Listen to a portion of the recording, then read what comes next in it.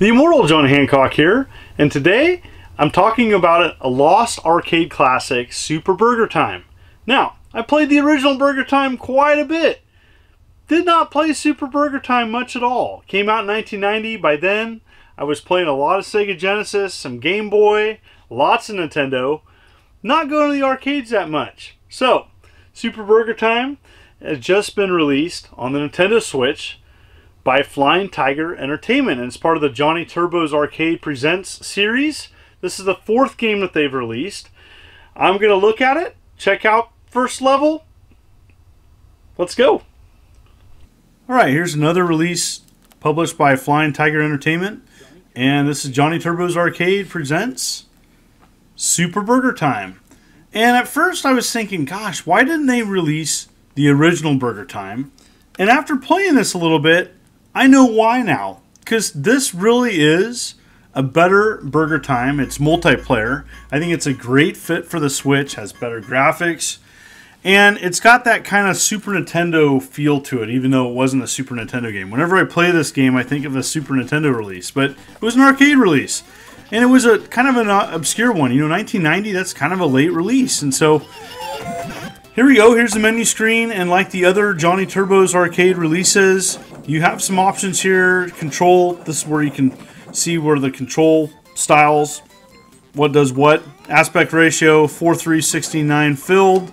And I'm typically, especially when it's an original arcade game, I like to play it on the original aspect ratio 4.3. You go back here, screen style.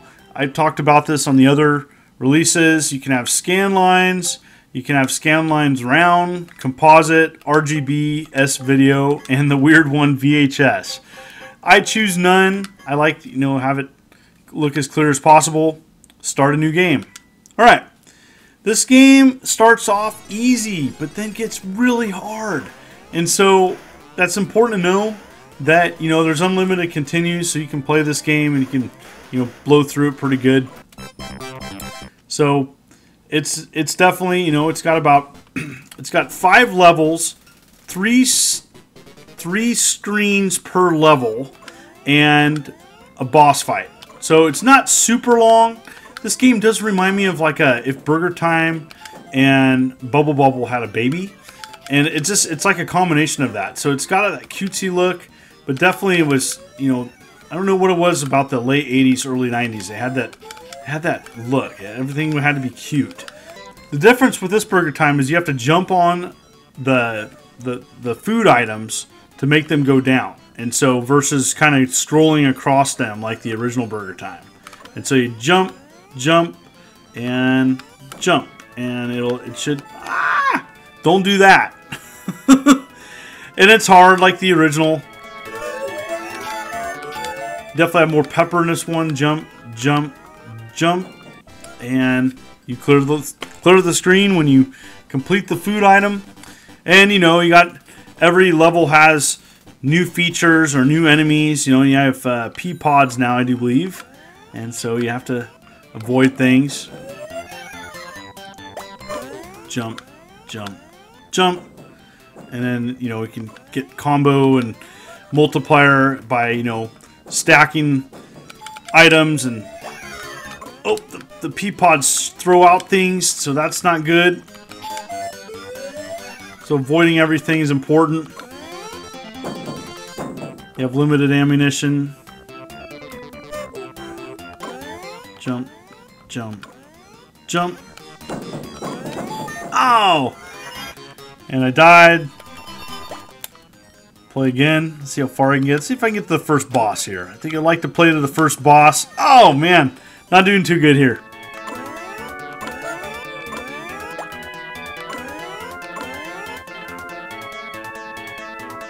So like the original Burger Time, it's about, you know, getting them to follow you or not follow you. Oh! It's tough. Alright, so gotta get that final one here. Having a heck of a time here.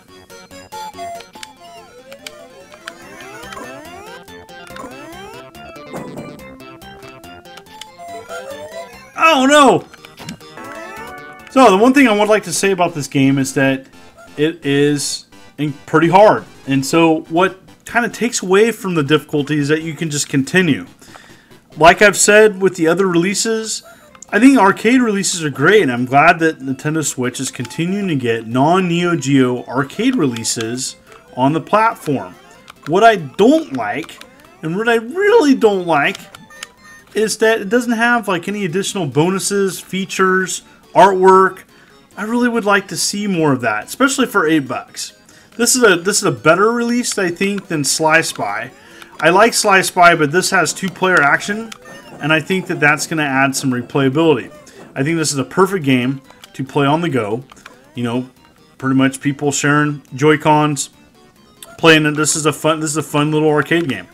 Now, it's not my favorite game, but I do actually like this game a lot, a lot more than I thought. Now, I didn't have a lot of experience with this. I played a ton of Burger Time, and I've played a lot of Burger Time on different versions. You know, I've played the uh, different home console versions of Burger Time.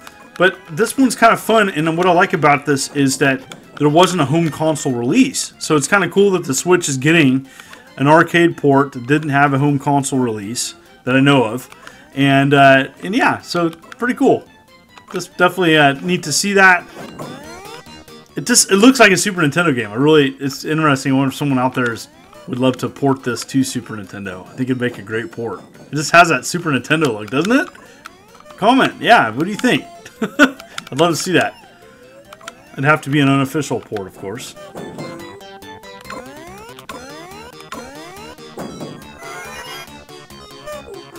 Alright, so I gotta make these sandwiches here.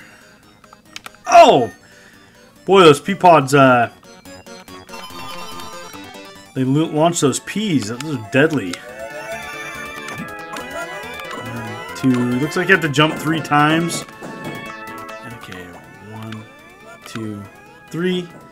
Okay, got that. One, two, three, four, five. Okay, on the big sandwiches, you got to go five jumps. All right, here we go. This is a, a boss. Ooh, bees. Ooh, bees. Evil bees. Let's see here. Alright. Oh, jeez.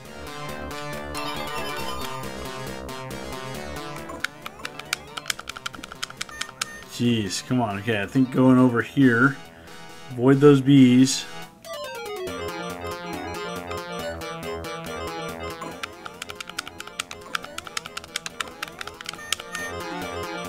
So, essentially just have to avoid the bees.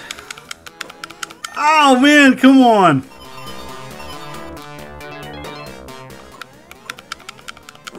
Alright. Finally. So that's one level. And then you go to the second level. Ooh, it's a lot different at least. Very colorful graphics. I like that it changes it up. This is like a, it looks like it's candy themed.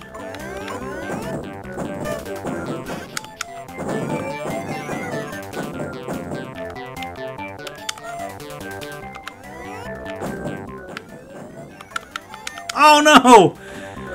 So you can grab different weapons from the side here. And uh, yeah, boy, this is tough though.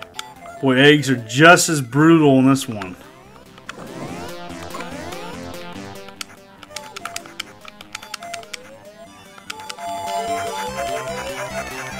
So grabbing weapons on the side of the screen is super important.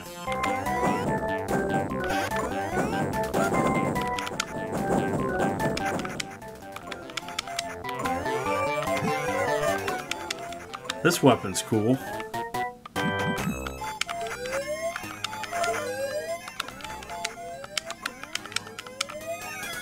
you only have weapons for a limited amount of time, so that's...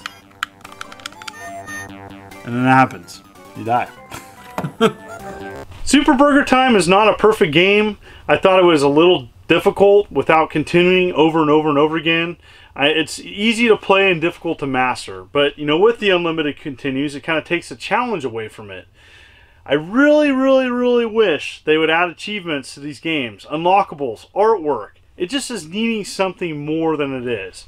Now, has a decent amount of levels, has five levels, three stages, plus a boss. And I think playing with someone this would be a lot of fun. You know, for people that are fans of Bubble Bobble or the original Burger Time, this is a perfect match. Even Snow Brothers. And so that's my thoughts. Not perfect, far from perfect, but a fun arcade game and two player. And I think this is a great game to be released on the Switch. And so, yeah, there you have it.